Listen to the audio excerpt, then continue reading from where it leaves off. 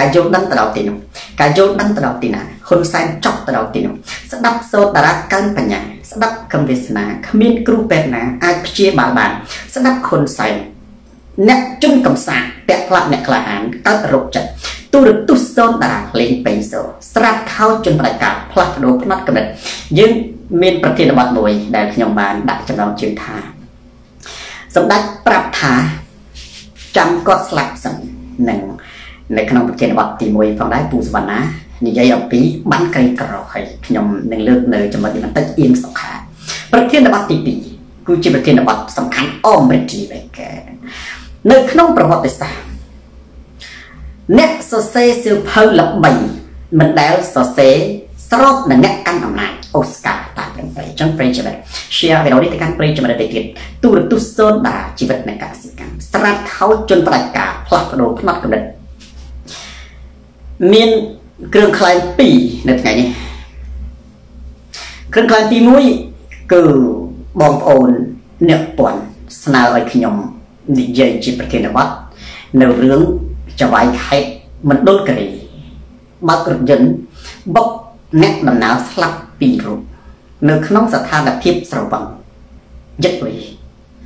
ខ្ញុំថាវាមិនមែនជាប្រធានបទ ដែលយើងត្រូវលើកយកមកពិភាក្សាចាំបាច់នៅក្នុងកម្មវិធីផ្សាយតទូរទស្សន៍សូនាទេ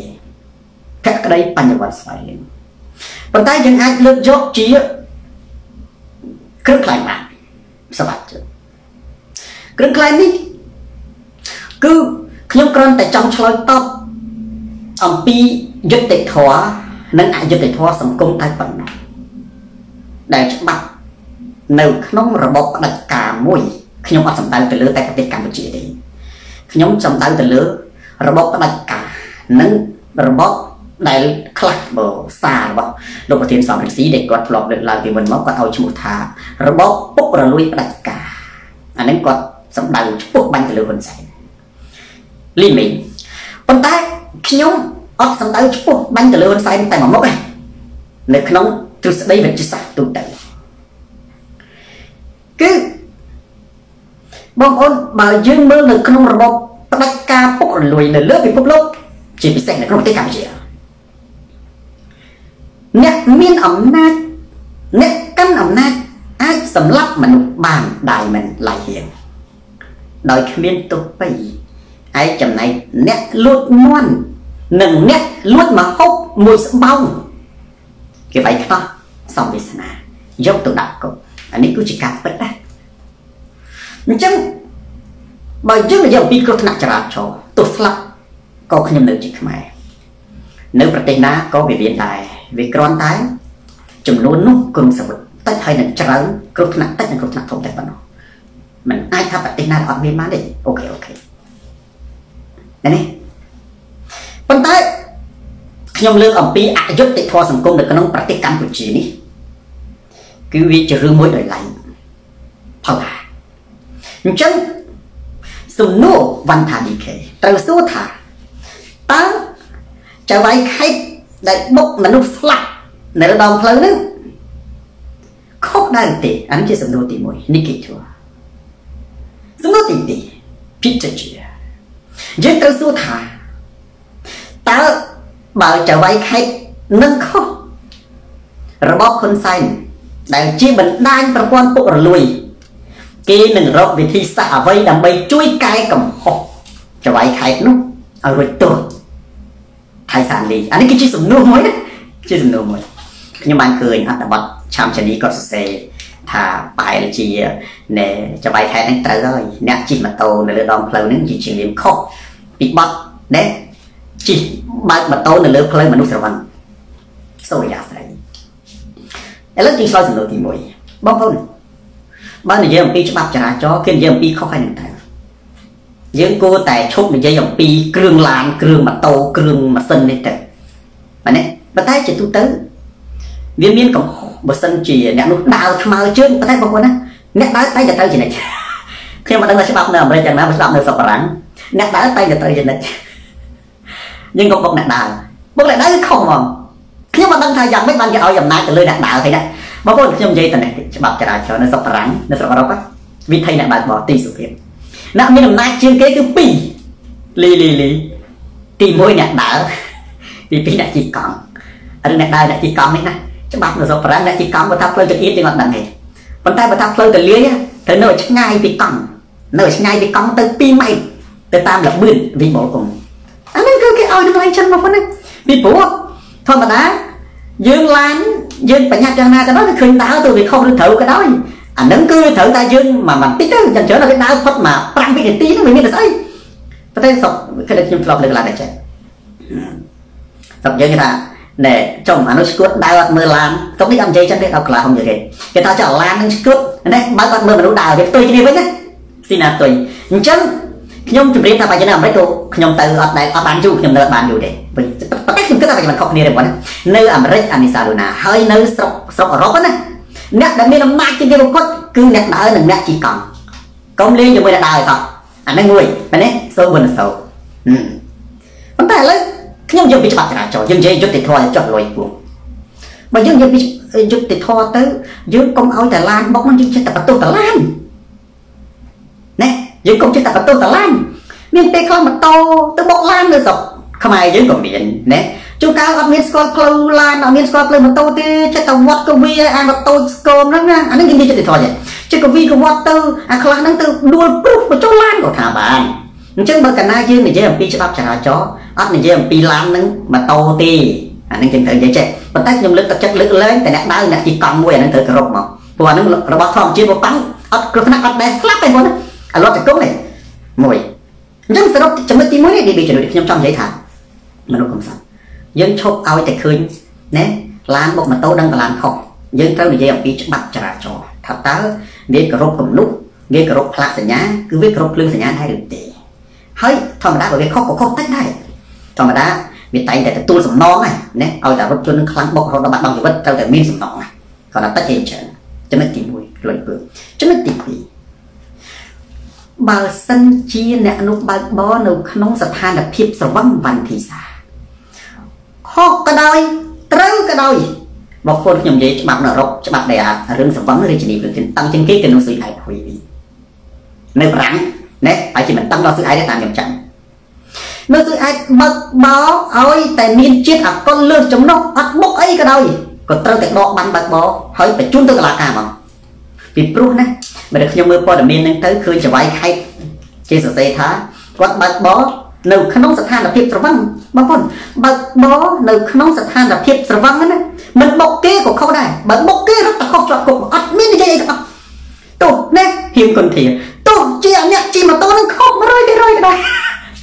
ប្រតិជនអានេះគឺវាអញ្ចឹងមកនេះអញ្ចឹងអត់ចាំបាច់អីទេគ្រាន់តែថាយើងមើលស្ថានភាពនេះណាបើចវាយខេតនោះវា ណាស្ថិតនៅក្នុងស្ថានភាពស្រវឹងលីយងសឿងមានន័យថាអត់រៀបរាប់ទេច្រើនទេអត់មានរៀបរាប់ទេខ្មាស់បងប្អូនអត់មានគិតថាអានឹងចបាយខែទេច្បាប់អត់មានបែងចែកថាសម្រាប់មនុស្សចបាយខែមានទោះ2ខែចបាយខែអត់មានទេគឺបើថាសម្រាប់មនុស្សក៏ចុះគុកសម្រាប់តែបែងចំណុចទី1ចំណុចទី2យើងគាត់ថាចង់សួរថាសឹមចន្ទរាតើបើសិនជាចបាយខែ នៅក្នុងគណៈបកប្រជាជនខុសគ្រាន់តែគេកំពុងតែរត់នឹកកែសំណុំរឿងតែប៉ុណ្ណោះគេចង់សរសេរថាអូសវាយខេតនឹងគេពិនិត្យជាតិអកុលហើយគេសរសេរឯកសារទៅថាអត់មានសង្វឹងទេអានេះថាឡាននឹងមិនមែនឡានគាត់ទេថាម៉ូតូនឹងគឺបើកបកាច់បែកកង់កវីចូលឡានទេអានឹងគេសរសេររឿងរបស់ជារឿងរបស់គេតែទោះយ៉ាងណាក៏ដោយអយុត្តិធម៌សង្គមនេះហើយដែលនាំឲ្យរបបហ៊ុនសែនឆាប់ចប់ហើយប្រជាជនកាន់តែស្អប់ខ្ពើមកាន់តែសរសេរកលៃ គឺកាន់តែធ្វើឲ្យតម្លៃនេះ Miss Vanry នៃរបបផ្ដាច់ការហ៊ុនសែននឹងគឺកាន់តែចប់ហើយបងប្អូនខ្ញុំសរុបមុននឹងជៀនចូលទៅដល់គ្រឿងខ្លាំង TV ថាចេះបើកបរនៅក្នុងស្ថានភាពលើកចិត្តអាកុលអត់និយាយថាអ្នកណាខុសអ្នកណាត្រូវទេអាគេបុកក៏ខុសទៅទៀតមកគេខ្លាចណាស់អាបើកបរនៅក្នុងស្ថានភាពមានចិត្តអាកុលណាជនផ្សេងកុំថាឡើយទៅបុកគេសំបីអាយើងជិះឡានឈប់គេមកបុកគូត គេដឹងតែឲ្យខុសមកហ្នឹងគេដឹងតែឲ្យអ្នកសម្បងខុសមកព្រោះច្បាប់គេហាមព្រោះសម្បងហ្នឹងវាចឹងចឹងមកគេហាមហ្នឹងហើយដល់មួយទៀតបើសិនជាប្រជាជនសម័យតារាស្វីទីជាប់គុក10ឆ្នាំ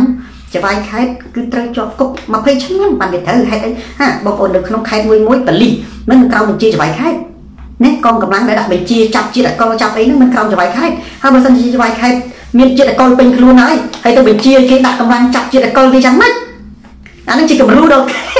មែនទេវាជាគំរូប៉ុន្តែទោះយ៉ាងណាក៏ដោយយើងគ្រាន់តែដឹងថានៅក្នុងរបបផ្ដាច់ការនានាលើសកលលោក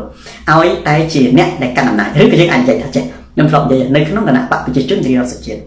ឲ្យតែអ្នកនឹងណាចូលគណៈបកប្រជាជនអាចណែសម្រាប់មនុស្សដូចចបាយខេត្តក៏អត់ទាន់មានបញ្ហាដែរតឡាការណាទៅធ្វើស្អីអញ្ចឹងហើយបានជាណែប្រទេសកម្ពុជាយើងដាច់ខាតត្រូវការការផ្លាស់ប្ដូរប្រិយមិត្តការម៉ាឡេ share វីដេអូនេះទៅកាន់ប្រិយមិត្តទៅទៀត strong grill ទូរទស្សន៍សនបារាហ្វដំកោ ស្រាតខោជនបដិការផ្លាស់ប្ដូរផ្នត់កំណត់គ្រឿងខ្លែងទី2និយាយតរឿងថ្ងៃនេះសនសនៈថៃគឺនិយាយតែរឿងគ្រឿងខ្លែងនិយាយពីចរាចរណ៍ទៅចុះមានបងប្អូនយើងគាត់ណែតែជាគាត់ដែលដើរចេញក្រៅប្រទេសទេខ្ញុំសន្មតថាចង់ចុះសំទុះប៉ុន្តែសន្មតត្រូវគាត់អត់អីគីចន្ទរាមាគាត់សួរខ្ញុំរឿងផ្លូវលបឿនលឿននៅក្នុងប្រទេសកម្ពុជាហើយនិងផ្លូវលបឿនលឿននៅក្នុងប្រទេសអាមេរិកនិងប្រទេសបារាំងសូនវេហាគាត់សួរថាតើ នៅក្នុងប្រទេសកម្ពុជានៅនៅហេតុអីបានជាផ្លូវលបឿនលឿននៅក្នុងប្រទេសកម្ពុជានឹងគេយកលុយតើនៅអាមេរិកឬក៏នៅបារាំងហ្នឹងគេតែចាក់ក្រវ៉ាល់គេយកលុយដែរឬទេអានេះគឺជាសំណួរមួយមែនទេហើយខ្ញុំគិតថាសំណួរនេះគឺបើសម្រាប់បងប្អូនយើងដែលដើរច្រើនប្រទេសដែលធ្លាប់ចេញក្រៅប្រទេសឬក៏នៅក្រៅប្រទេសឬក៏មានបងប្អូននៅក្រៅប្រទេសតំណងជាគាត់អត់ឆ្ងល់ទេប៉ុន្តែ អ្នកស្តូលវីវ៉ាបើសិនជាបងប្អូនយើងគាត់អត់ដែលអ្នកអត់ដែលតាមពិតមិនមែនជាកំហុសគាត់ទេគាត់សួរនឹងគាត់អត់ដំងទេគាត់មនុស្សត្រូវល្អសវណ្ណបរិយដែលចេះសួរអញ្ចឹងមែនទេបើអ្នកខ្លះអត់ចេះសួរនឹងបានវាល្ងើតែខ្ញុំនិយាយទៅដូចជាពុកព្រមអញ្ចឹងបើមិនចេះសួរអានេះបិន choice មានន័យថាមានជឿគាត់សួរដោយសារគាត់ឆ្ងល់ថាហេតុបានជាគេយកលុយផ្លូវចម្លើយគឺថានៅក្នុងពិភពលោកយើងនេះប្រទេសភាគច្រើនយើងកុំថាទាំងអស់ពុកដូចជាមានប្រទេសស្វីសនិងប្រទេសអាល្លឺម៉ង់ ប្រទេសអាល្លឺម៉ង់នៅអឺរ៉ុបដូចជាមានតាមខ្ញុំចាំដូចជាប្រទេសស្វីសប្រទេសអាល្លឺម៉ង់ឬប្រទេសស្វីសឯងគេមានប្រទេសខ្លះគឺគេអត់យកផ្លូវគេអត់យកលុយផ្លូវទេប៉ុន្តែគេអត់យើងគេអត់យកលុយផ្លូវផ្ទាល់របស់យើងមែនណាប៉ុន្តែគេដកពន្ធនៅក្នុងហ្នឹងដកពន្ធស្វ័យប្រវត្តិដូចតែគ្នាទេប្រទេសខ្លះនេះគេធ្វើការវិនិយោគទៅលើវិស័យឯកជនកំណត់ឆ្នាំឧទាហរណ៍ថា មានរយៈពេល20ដែល50ឆ្នាំ 80ឆ្នាំ90ឆ្នាំអញ្ចឹងទៅគឺត្រូវផ្ដល់សិទ្ធឲ្យក្រុមហ៊ុនឯកជនហ្នឹងយកថ្លៃផ្លូវសេវាផ្លូវសម្រាប់ជួសជុលសម្រាប់អីហ្នឹងនៅប្រទេសបារាំងក៏មានប្រទេសអាមេរិកហើយមិនមែនខ្មែរធ្វើមុនគេទេបានទីបណ្ដាការអាហ្នឹងគឺប្រព័ន្ធនៅអឺរ៉ុបធ្វើមុនគេណានៅអាមេរិកនៅនៅអឺរ៉ុបនៅបារាំងអាហ្នឹងគឺផ្លូវណាក៏គេបង់លុយដែរឲ្យតែយើងប៉ុន្តែគេមានជំរឿននឹងជីបានតើយើងជីផ្លូវអត់បង់លុយក៏បានដែរប៉ុន្តែលឿនគេកំណត់លឿនដូចជាគេកំណត់ 70 80 90ណែនេះសក្ការៈអែមលឿនបំផុតតែថាលឿនបំផុតគេកំណត់ឲ្យត្រឹម80ទេអាហ្នឹងផ្លូវជាតិនៅស្រុកបារាំងនេះសម្រាប់អ្នកជិះមើលព្រៃភ្នំទេសភាពគេអត់ប្រញាប់គេជិះផ្លូវនឹងមើលភូមិមើលស្រុកមើលអីបានហើយផ្លូវនឹងគេដាំដើមឈើក៏អត់មានអីទេប៉ុន្តែផ្លូវលឿនលឿនយើងចង់លឿនអានេះយើងបងលុយបានដូចគ្នាអញ្ចឹងគ្នាសួរហ្នឹងវាអាចជាសញ្ញាមួយថាល្អណាគឺដោយសារតែគាត់ណែមិនដែលបានដើរចេញក្រៅប្រទេសមួយមួយទៀតវាបញ្ជាក់ថាប្រទេសកម្ពុជាយើងវាមិនដែលមានផ្លូវលឿនលឿនបានជាមនុស្សឆ្ងល់ ប្រទេសយើងថាមានបើសិនជាមានផ្លូវលឿនលឿនដូចជានៅស្រុកថៃដូចជានៅហ្នឹងមនុស្សមិនដែលឆ្ងល់ទេមនុស្សមិនដែលឆ្ងល់អញ្ចឹងចម្លើយរបស់ខ្ញុំគឺថាជារឿងធម្មតាទេនៅក្នុងវិស័យសេដ្ឋកិច្ចគឺគេតែងតែមានផ្លូវឯកជនហើយបងលុយប្រទេសណាក៏បងលុយដែរប្រទេសថៃក៏បងលុយដែរប៉ុន្តែបើសិនជាយើងសួរថាថ្លៃឬថោកអាហ្នឹងទើបជាសំណួរមែនទេហើយគាត់ថាតើផ្លូវហ្នឹងបងរយៈពេលប្រហែលឆ្នាំទើបបកគលរដ្ឋឧទាហរណ៍ថា90ឆ្នាំ80ឆ្នាំទៅទូទៅគេនិយម90ឆ្នាំនៅស្រុកបារាំងក៏ដោយហើយដូចជានៅ ផ្លូវដូចខ្ញុំថាហ្នឹងនៅប្រទេសអឺរ៉ុបដូចជាប្រទេសអាល្លឺម៉ង់និងប្រទេសស្វីសបាទអត់បងលុយអាហ្នឹងគឺជាអត់បងលុយនេះគាត់ជារូបភាពតែគេយកពន្ធនៅក្នុងផ្លូវហ្នឹងបាទហើយអានេះគាត់ថារដ្ឋវាជាធំជាតិវាអាចរដ្ឋមានរដ្ឋាភិបាលមានលុយអញ្ចឹងចម្លើយគឺថាបងលុយមានដូចគ្នាណាយើងមិនមែនជាបញ្ហាទេអាហ្នឹងនៅប្រទេសណាក៏ដូចប្រទេសណាដែរគាត់ថាគេថោកពេជ្រសេរីឬក៏ថ្លៃតែប៉ុណ្ណោះប៉ុណ្ណេះផ្សេងអញ្ចឹងប្រិយចំណេះ share វីដេអូនេះទៅកាន់ប្រិយចំណេះដទៃទៀតទូរទស្សន៍សូនបារាស្រាប់ខោជនផ្ដាច់ការផ្លាស់ប្ដូរផ្នត់កំណត់ថ្ងៃនេះ មានប្រធានបទក្តៅមួយនេះរីក្បាលខៀវដែលខ្ញុំដាក់ចំណងជើងថាណាសម្ដេចនិយាយថា David Son ចាំអញងាប់សិនសារនេះគឺគាត់ឆ្លើយតបទៅនឹងទូរទស្សន៍សូតារា ស្រាប់ខោជនផ្ដាច់ការផ្លាស់ប្ដូរផ្នត់គំនិតដែលលើកជាប្រធានបទ ហេតុអ្វីបានជាហ៊ុនសែនមនុស្សជុំលុបណារមេតាពុំចន្ទទីចោលបុនអ៊ំទុកពីព្រោះអត់លុយបងប្អូនអត់លុយជារឿងពិតតែនេះខ្ញុំនិយាយហ៊ុនសែនអត់លុយពិតប្រកបណាមិនស្អាតលុយនេះហើយពាក្យសូនតារាគឺជាពាក្យសច្ចធម៌ពាក្យហ៊ុនសែនគឺជាពាក្យបោកប្រាស់បងប្អូនឃើញវីដេអូនោះសំខាន់ខ្ញុំអត់ចាំបាច់រៀបរាប់ឲ្យឡើងវិញទេណា ហើយក៏បានភ្ជាប់ជាមួយនឹងបានក្រីក្រ នៅថ្ងៃនេះដែលគាត់ទៅជួបជាមួយនឹងពលរដ្ឋនៅតំបន់ដែលឲ្យឈ្មោះថាដីអប្សរានៅខេត្តសៀមរាបប៉ុន្តែវាភ្ជាប់គ្នាហឹមបងប្អូនរឿងអត់លុយនេះដែលវាភ្ជាប់ជាមួយនឹងបាំងក្រីក្រហើយបន្តិចទៀតទូរទស្សន៍សូនតារានឹងស្រាប់ខោច្បាស់ ថារូបមន្តហ៊ុនបោកសែនស្មើនឹងកម្រាមបោកបោកអ្វីអ្វីដែលហ៊ុនសែនដែលយើងឃើញគឺជារបស់ខ្លាំងខ្លាយនឹងតែជាការពិត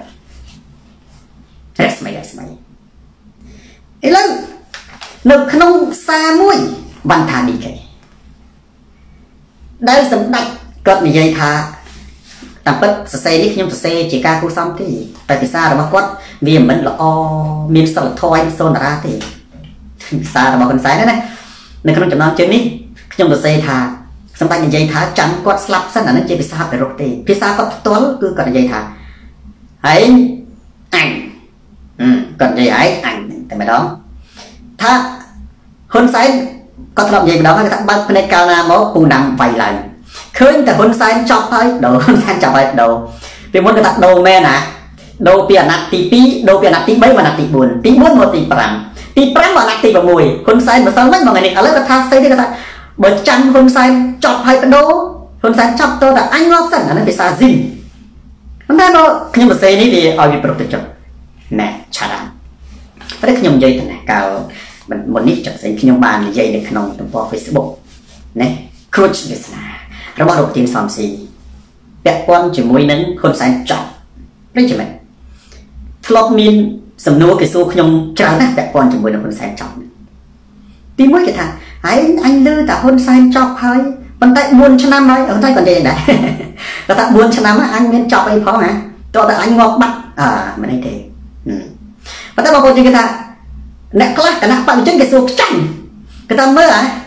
ហើយនិយាយរឿងហ៊ុនសែនចប់ហើយបដូរហ៊ុនសែនចប់ហើយបដូរហ្នឹងមែនទេអញទិញពាក្យហ្នឹងនុនជាហើយលក់អត់ខ្ញុំថាលក់ តែលក់មិនមែនរឹងមាំដើម្បីជីវិតខ្ញុំថាលក់1ដុល្លារតែគាត់ថោកថោកមែនចឹងអញទិញណាបើថ្ងៃក្រោយអញទិញឥឡូវឯងនៅណានេះអញផ្ញើលុយឲ្យឯងតោះពាក្យហ៊ុនសែនចប់ឲ្យបដូរហ្នឹងអញជ្រិញអញឃើញឯងនិយាយ3 4ឆ្នាំហើយដដែលដដែលតែសម្ដេចអត់មានចប់អីផងនេះគាត់ថាបើអញទិញហើយបើឯងនៅតែឃើញប្រើពាក្យនឹងទៀតសុកជាលីងបងរងចិត្តល្អតើណាឌីខំឲ្យអញធ្វើម៉េចគាត់សួរអញ្ចឹងគាត់ឯងពាក្យហ្នឹង លោកថ្លៃប្រហែលណាមើលអញទិញហ៊ុនសែនចប់ហើយបដូរសម្បូរគោលនឹងកោខ្ញុំថា1ដុល្លារអានេះសាលូណាអើបើអញទិញហើយណាអញឃើញហើយនៅតែនិយាយចឹងទៀតណាតើឯងត្រូវធ្វើម៉េចគាត់និយាយ với ខ្ញុំចឹងខ្ញុំថាអារបស់លក់កាន់តែបាច់គេកាន់តែពីវិនិយោគទៅបងប្អូន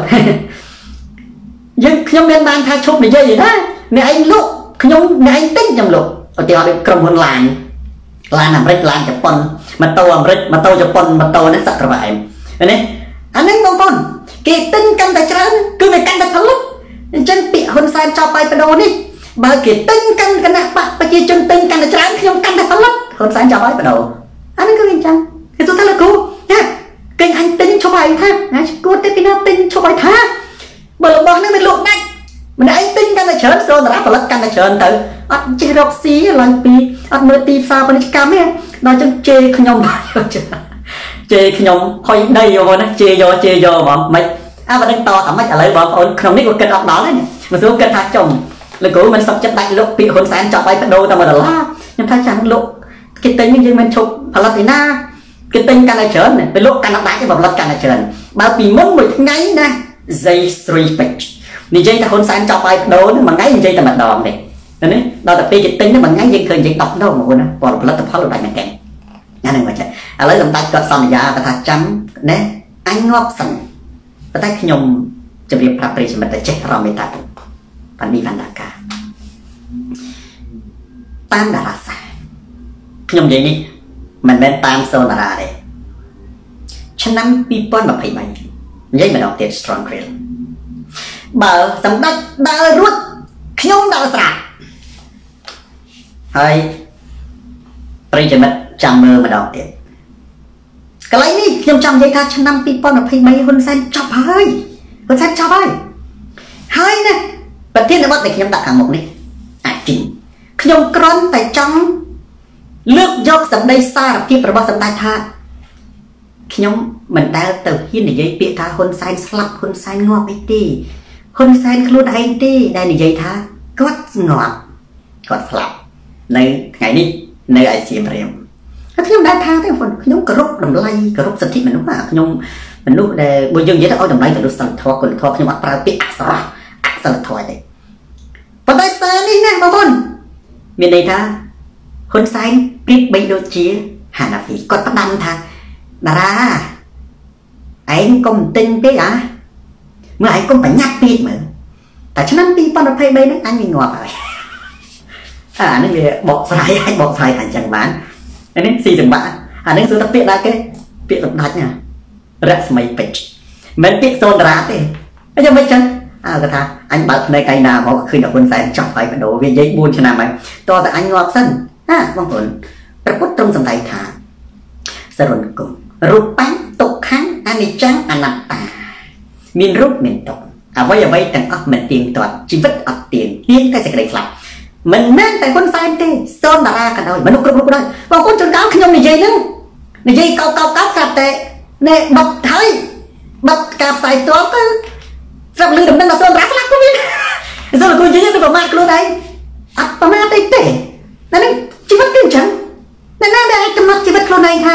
ស្លាប់ថ្ងៃណាបានជួនកាលមនុស្សយើងសូនតារាក៏បា នដែរនិយាយនិយាយហើយស្រាប់តែរំលងថាអូបងប្អូនយើងជួបមកគ្រប់ពួកម៉ានៅថាពួកម៉ែឯងណែណែអានេះស្លាប់ហើយណែគេអាតាក់ណាមិនចឹងងាប់ហើយវាលេងវាទុំតែអង្គុយផ្ទះអញមិញសោះស្រាប់ទៅដល់ផ្ទះឬគេនិយាយថាអូអាតាក់ស្លាប់ហើយមិនទៀង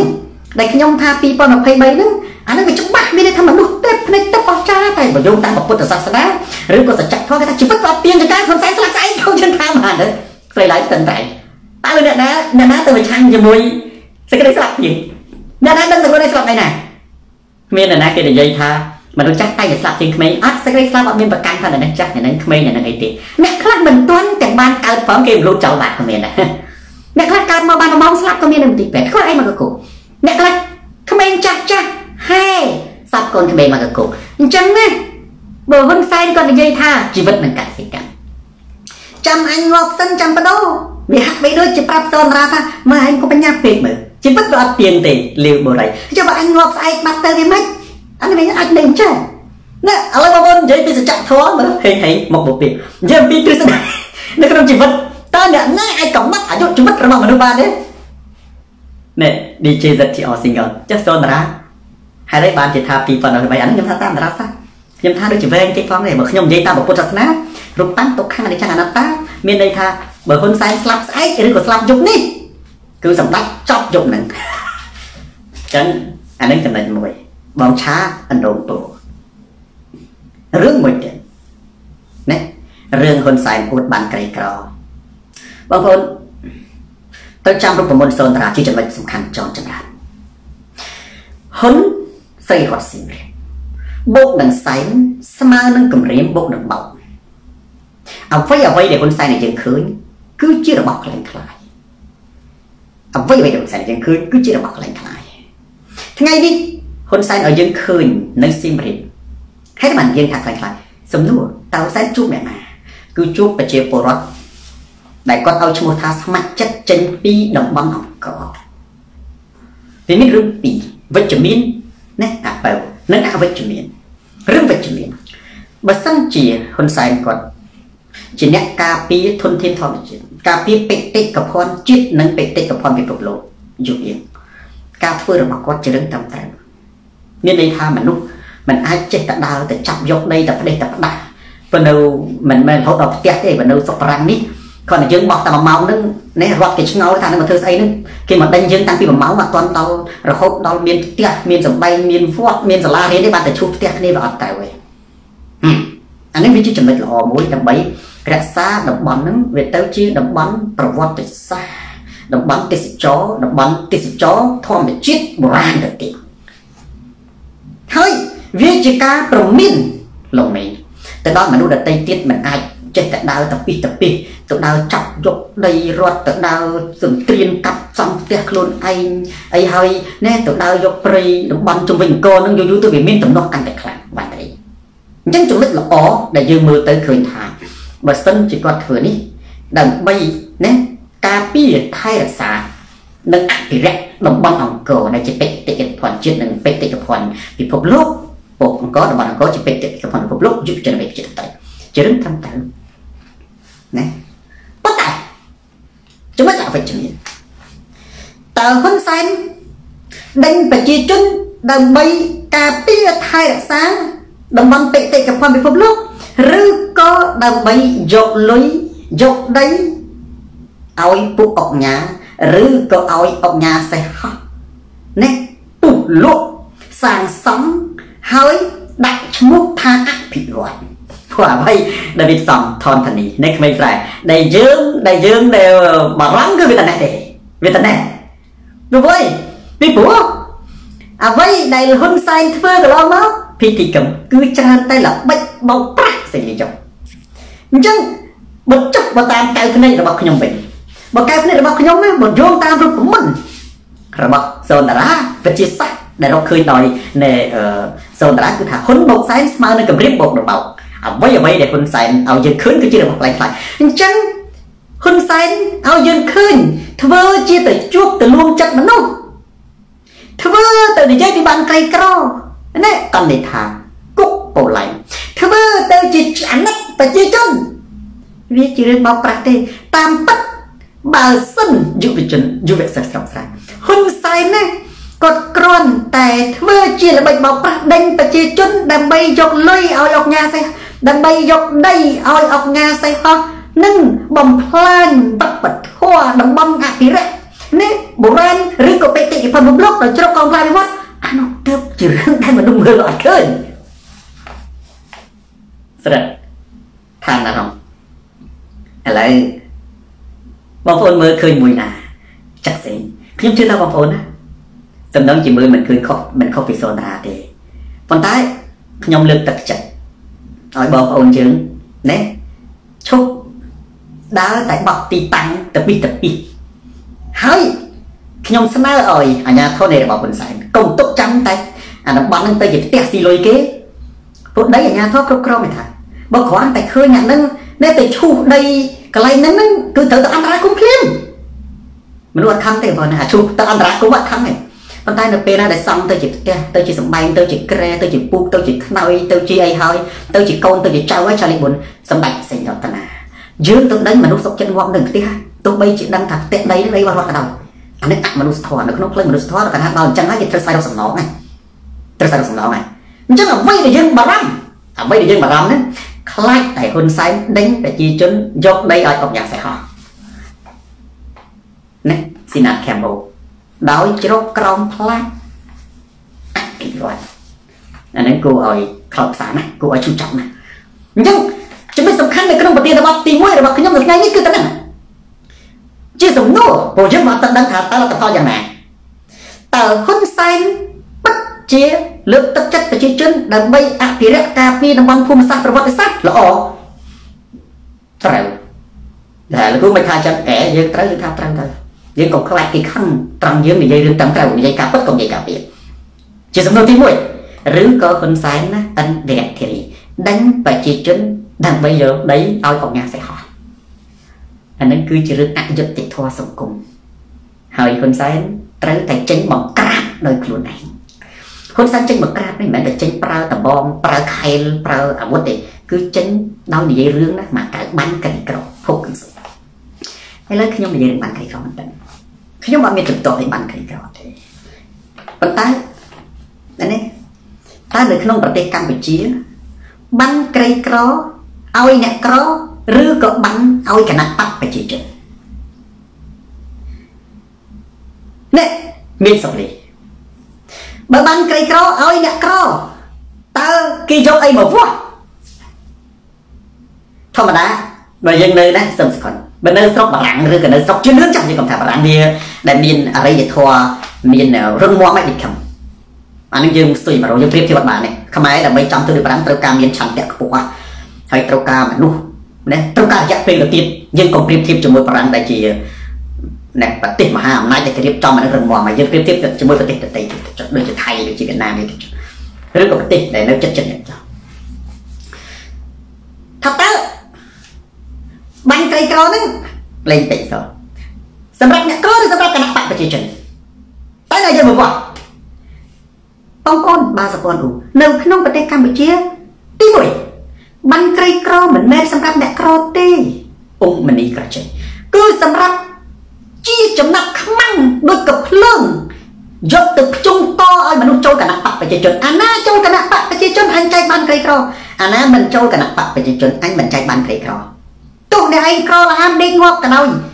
អ្នកឲ្យតែនោះមិនជាគណៈបកប្រជាជនបងសុភ័ក្រ KH គឺអត់មានទេរដ្ឋាភិបាលអូក្លង់ជនជំនួអានេះចំណុចទី1បងណាហើយអ្វីដែលសនតារានិយាយសិតតែចូលនៅក្នុងចំណុចត្រូវ មានតែបងប្អូនដែលរស់នៅក្នុងស្ថានភាពហ្នឹងទេសូហ្វីលើដែលថាសនតារានិយាយត្រូវស្នាមញញឹមថ្មីទី2បិណ្ឌក្រីក្រគឺគេឲ្យទៅបាក់ពុករបស់ប្រទានភូមិឬក៏អ្នកមានក៏កាន់បានក្រីក្រដែរព្រោះវាចំណេញពោះសំបីតែអ្នកមាននៅស្រុកខ្មែរក៏ត្រូវការរបស់ដែលអត់បង់លុយដែរក៏បានក្រីក្រវាថោកអត់បង់លុយមានអាហ្នឹងទៅអ្នកមានកាន់បានដែរ អ្នកណាដែលនិយាយថានៅក្នុងប្រទេសកម្ពុជាអ្នកក្របានបានក្រីក្រអ្នកណាដែលនិយាយថានៅក្នុងប្រទេសកម្ពុជាអ្នកមានអត់បានក្រីក្រណែអ្នកមានកាន់បានក្រីក្រច្រើនណាស់ណានេះចំណុចទី2សួរជាទុនសុផាន់ចំណុចទី3តើបងប្អូនខ្ញុំសួរទៅប្រជាជនកម្ពុជាទៅបានក្រីក្រអ្នកក្រក៏យកឲ្យមកវាស់ប្រទេសកម្ពុជាដើម្បីវាស់អ្នកក្របាន ជាអ្នកចក្រពេចចក្រពេចជាយោបល់ខ្ញុំទេនេះបើគណៈបកសង្គ្រោះជាតិឬគណៈបកលើកទៀនកាន់អំណាចអានឹងគេធ្វើដោយសូនតារាថាអញ្ចឹងបើហ៊ុនសែនកាន់អំណាចគេ nói ថាអើអានឹងក្នុងនាមជាខ្មែរដូចគ្នាផ្ដល់យោបល់ដើម្បីប្រទេសជាតិមានចំណុចខ្លះណាយើងប្រឆាំងមានចំណុចខ្លះយើងជាយោបល់ដើម្បីប្រទេសជាតិឲ្យខ្មែរយើងបានល្អទាំងអស់គ្នាជាយោបល់ខ្ញុំទី1គេរៀបចំប្រព័ន្ធគ្រប់គ្រងប្រាក់ចំណូល ប្រព័ន្ធគ្រប់គ្រងប្រាក់ចំណូលគឺជាប្រព័ន្ធជារូបមន្តមិនមែនធ្វើទៅតាមប្រធានភូមិឬក៏ធ្វើទៅតាមចំណាក់ខ្មាំងគណៈបកទេសួរធ្វើម៉េចវាអត់ដឹងដូចយើងថាទៅធ្វើម៉េចរើឡានបើយើងជាអ្នកដឹកនាំយើងដឹងថាតើឡានគេធ្វើម៉េចយើងដឹងថាជាងខ្ញុំនិយាយនេះមានន័យថាអ្នកប្រាជ្ញខាងសេដ្ឋកិច្ចអ្នកដែលមានជំនាញខាងសេដ្ឋកិច្ចរបស់ខ្មែរយើងច្រើនគេចេះហ្នឹងតែនេះគេដឹងថាអូលោកគ្រូនិយាយត្រូវហើយណាស់អើយណាស់ generation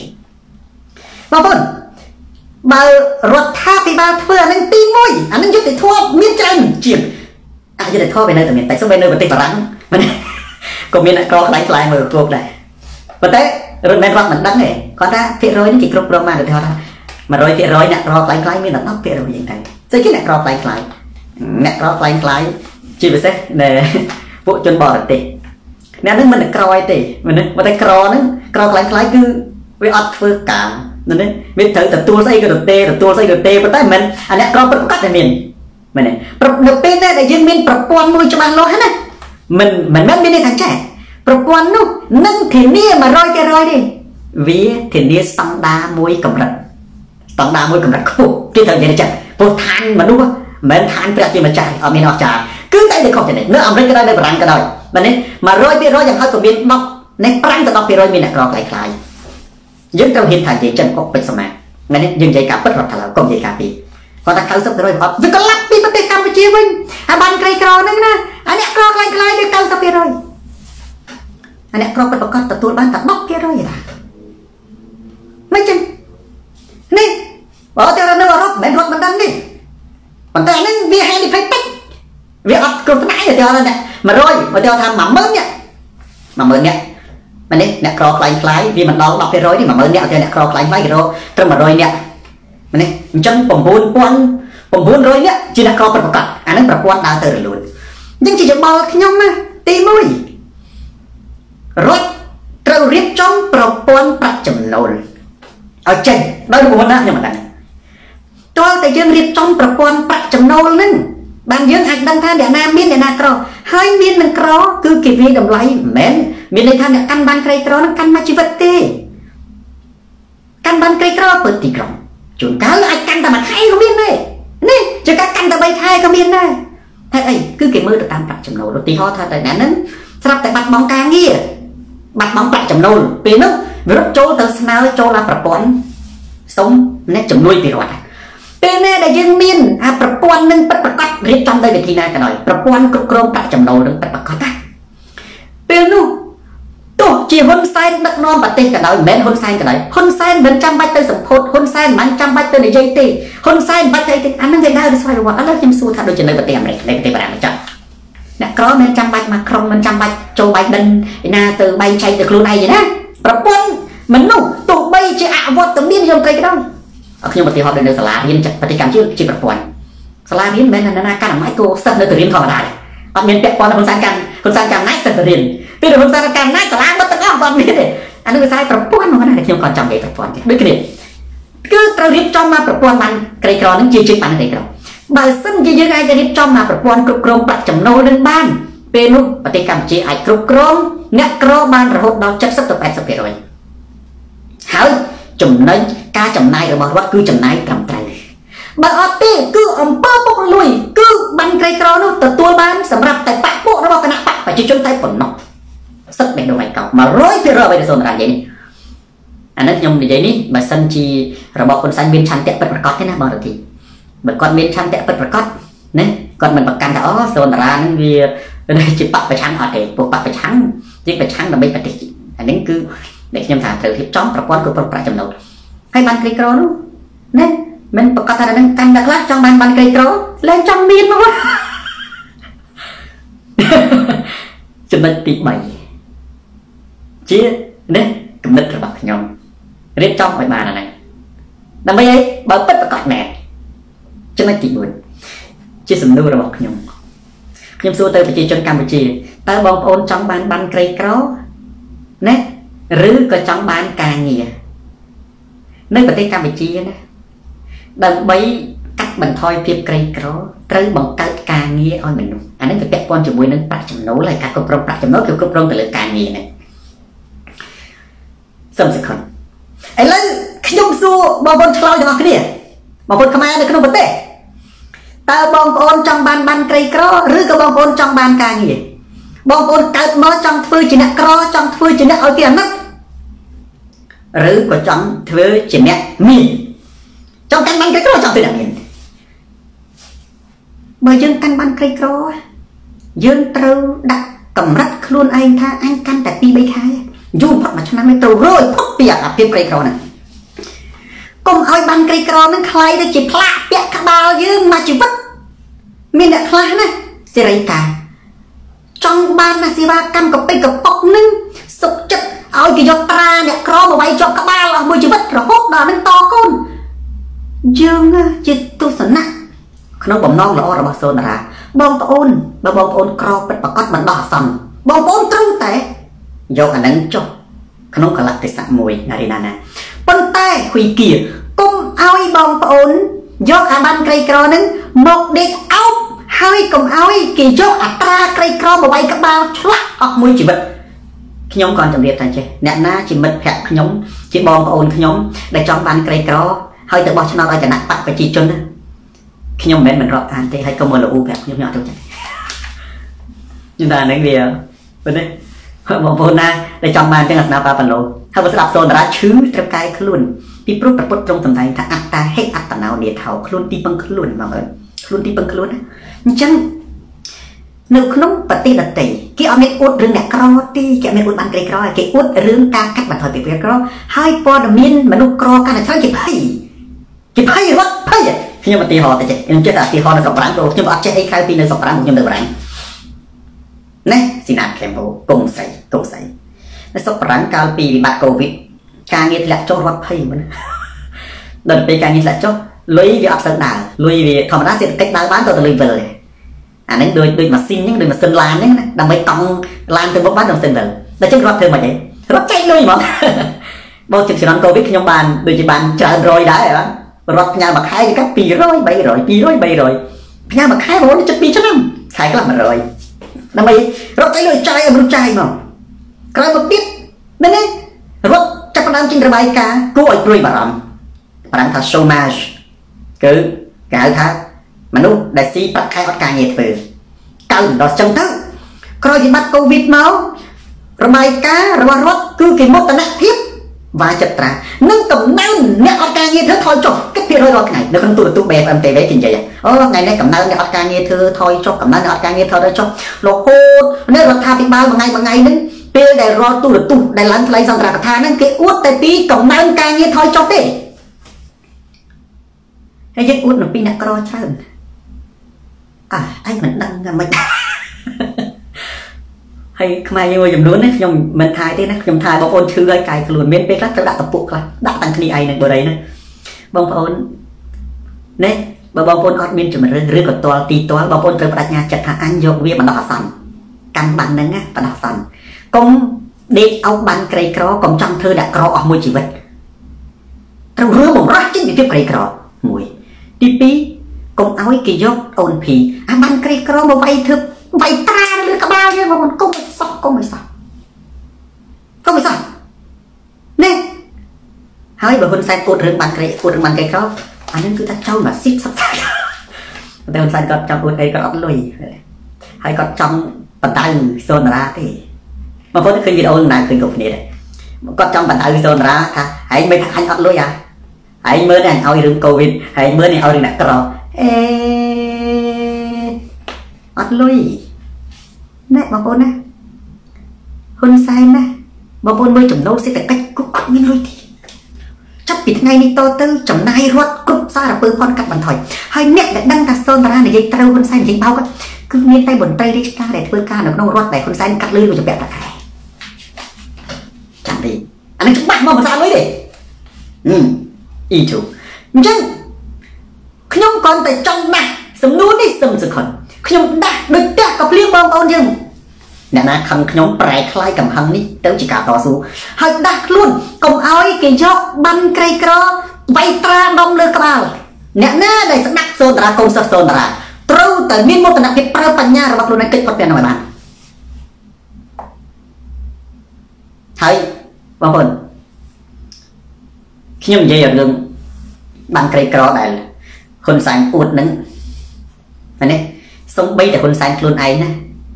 ក៏អត់ដឹងនិងអត់គ្រប់គ្រងបានដែរហ៊ុនសែនអត់គ្រប់ចេះប្រព័ន្ធទេយើងមើលនៅក្នុងវេទិការបស់គាត់ដូចបីលបបីលបឲ្យមនុស្សឡើងទៅសួរឲ្យមនុស្សទៅរាយការណ៍អញ្ចឹងចឹងបើកណាទៅជាប្រព័ន្ធណាក្រសួងសេដ្ឋកិច្ចរញ្ញវត្ថុអាក្រសួងកិច្ចការក្រសួងការងារហ្នឹងណារបាយការណ៍គេផ្ញើទៅហ៊ុនសែនគេដឹងបាត់ហើយហ៊ុនសែនដឹងថាប្រទេសកម្ពុជាមានមនុស្សប្រមាណអីប្រមាណដែរហើយជាពិសេស ប្រទេសមួយដែលកាត់បន្ថយភាពក្រីក្រ គឺជាប្រទេសដែលចែកការងារបងប្អូនមិនក្រីក្រជាប់បដិសេធទេប៉ុន្តែគឺត្រូវតែមោទនភាពនឹងចែកការងារនឹងព្រួយបារម្ភអំពីកំណើននៃបានក្រីក្របានក្រីក្រត្រូវតែមាននៅក្នុងប្រទេសកម្ពុជាក្នុងកលបិសានេះប្រទេសណាក៏មានដែរប៉ុន្តែមិនត្រូវមោទនភាពអានឹងទេត្រូវព្រួយបារម្ភ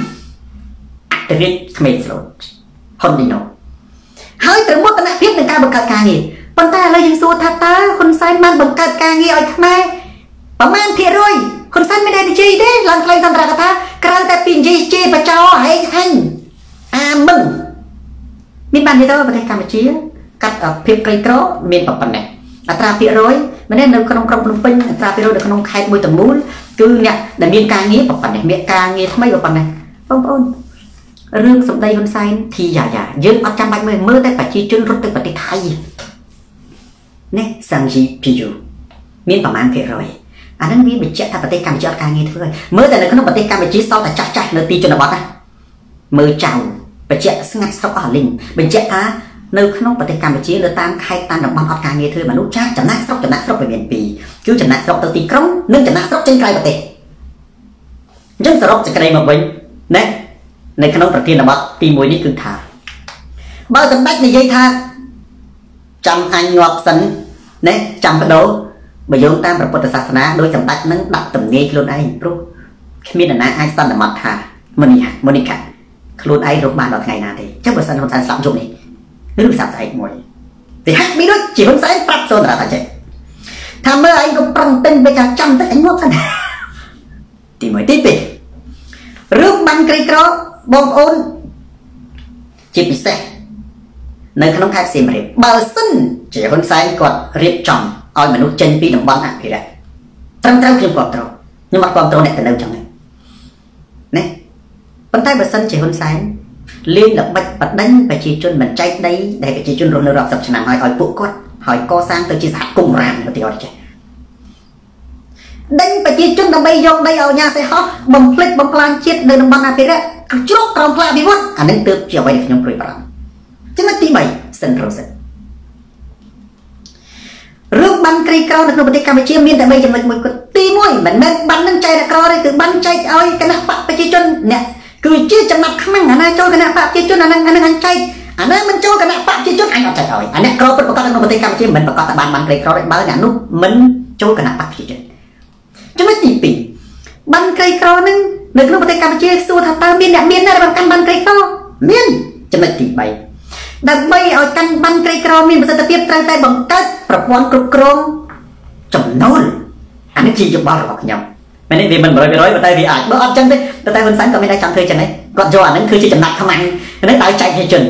ហើយខ្ញុំផ្ដាំប្រជាជនថាចេះ ត្រូវរើបំប្រាស់ឲ្យផុតអំពីបានក្រីក្របើកាន់កាន់តែ3 4ខែកន្លះខែត្រូវមានអាយុកាលរបស់វាបើនៅស្រុកបារាំងបានក្រីក្រគេអត់មានបាត់ទេគេមានគេហៅថាអឺដូចជាគាត់គេហៅថាការគ្រប់គ្រងប្រាក់ចំណូលគេត្រួតត្រារៀងរាល់3ខែម្ដង3ខែយើងទៅរាយការណ៍ប្រវត្តិម្ដងនេះថាយើងមានចំណូលប្រមាណមានចំណូលប្រមាណហើយបើសិនជាយើងមានណាគេផ្ដាច់អានឹងវាចេះមានយើងអត់ទេ3ខែយើងទៅអានេះបងប្អូនទៅរហូតតិចតិចហើយប្រជាជនកម្ពុជានេះបើស្ដាប់សូនតារាឈឺដាច់ខាត់ត្រូវតែ ឲ្យហ៊ុនសែនចែកការងារចង់បានការងារកុំចង់បានបានក្រីក្រហើយកុំដេកអោបបានក្រីក្រមួយជីវិតកៅស៊ីណានឹងកុំឲ្យគេយកត្រាក្រីក្រមកវាយជាប់ផ្លាក់អស់មកពូជរកត្រូវតែមានសេរីភាពមានអិសរភាពរបស់យើងសេចក្តីថ្លៃថ្នូររបស់យើងនេះអានេះគឺជាចំណុចសំខាន់មួយស្អីមករកហើយខ្ញុំគាត់តែផ្ដាំថាចេះបងប្អូនណាសរុបមកវិញថាចេះឆ្នាំ2023 បើសម្ដេចដើររួចខ្ញុំដើរស្រាតអានេះបើយកតាមតារាសាស្ត្រឆ្នាំ2023សម្ដេចដើរលេងរួចមកខ្ញុំមិនដឹងថាម៉េចដែរនាគណៈបកប្រជាជនខ្ញុំរស័យសាហ្នឹងគេផ្ញើមកសែនសុភារាថាហេឯងនិយាយអញ្ចឹងមានឃើញសម្ដេចណោរឹងមាំណាស់ដើរដល់សៀមរាបគេផ្ញើរូបមកឲ្យខ្ញុំផងគេផ្ញើវីដេអូមកឲ្យខ្ញុំផងខ្ញុំថាដល់2023ទៅនិយាយអញ្ចឹងតិចអត់ទាន់ដល់2023ទៅស្រាប់តែដើរលេងរួចខ្ញុំមិនដឹងទេណា ខ្ញុំថា2023ខ្ញុំមិនថាឥឡូវទេឥឡូវខ្ញុំមិនដឹងប៉ុន្តែតាមតារាសាស្ត្រច័ន្ទវីឆ្នាំ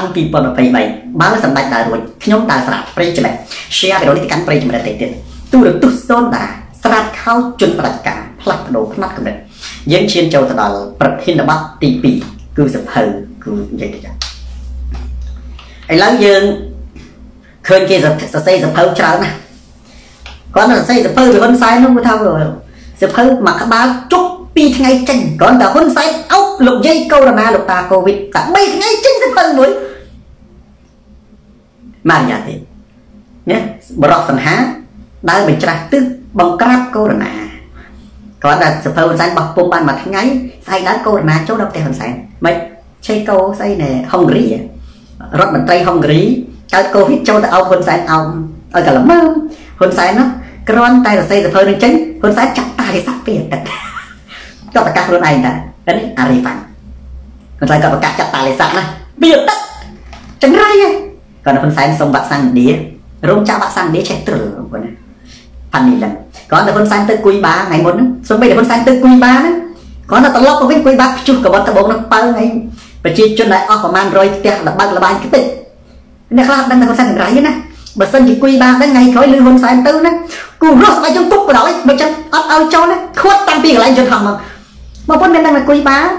ភ្ជុះកបុតដបងប្រមាណប្រទេសទេប្រមាណប្រជាជនប្រមាណផ្ទះហ្នឹងគ្រីស្ទីណាកាំងដោយសារដោយសារហ៊ុនសែនទៅប្រទេសគួយបាបើថាប្រទេសជប៉ុនគេដឹងមុនប្រូសែសអានេះហ៊ុនសែនទៅណាឲ្យលះបាត់ដបងអានេះជារឿងធម្មតាទេប្រទេសជប៉ុនតាំងពីបរមបុរាណរាប់ពាន់ឆ្នាំហើយរឿងគ្រោះធម្មជាតិរំជួយផែនដីអីហ្នឹងប៉ុន្តែប្រហែលថ្ងៃនេះណែប្រហែលថ្ងៃនេះ ហ៊ុនសែនទៅគួយបាសិក្សាណាហ៊ុនគ្រាន់តែហ៊ុនសែនទៅដល់ហើយត្រឡប់មកពីគួយបាវិញគួយបាជុះបើផ្ទះប្រជាជនចង្រៃទៅចង្រៃអត់ទាន់បានចង្រៃហ្នឹងសោះហើយអញ្ចឹងបាននេះខ្ញុំនេះលើកយកនៅចំណុចនេះមកអចាំភេងអវតាវត្តមកបញ្ជាក់ប្រាប់ប្រិយមិត្តឥឡូវយើងមើលស្ថានភាពនៅក្នុងប្រទេសកម្ពុជាយើងបដិញមកទៀតហើយបដិញមកទៀតគឺថា បងប្អូននៅក្នុងរយៈកាលដែលហ៊ុនសែនដើរច្រើននេះនៅក្នុងកម្មវិធីផ្សាយផ្ទាល់របស់ខ្ញុំលើកមុនហ្នឹងគឺអាចមកពីហ៊ុនសែនហ្នឹងគាត់ដឹងថាស្ទូនតារានិយាយត្រូវឆ្នាំ2023គាត់ដើរលែងបានគាត់ដើររួចទេណាអញ្ចឹងគាត់ត្រូវដើរឲ្យហើយប៉ូឡាគីនៅពេលណាណាដែលហ៊ុនសែនដើរហើយឆ្នាំ2023ជាតាហ៊ុនសែនចូលចប់ចុះធ្វើម៉េចចាក់ស្អី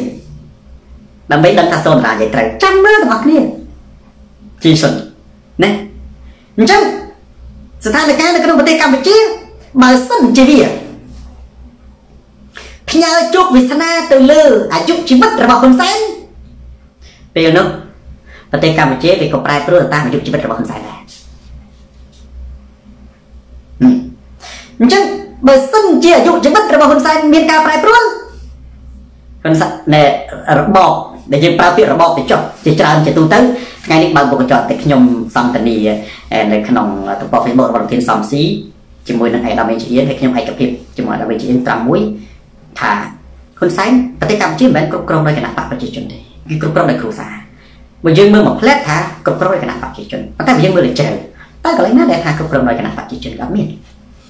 ណាឥឡូវខ្ញុំទាំងខ្ញុំបានលើកប្រទេសពីរគឺប្រទេសចិនហើយនិងប្រទេសវៀតណាម ឈីជុន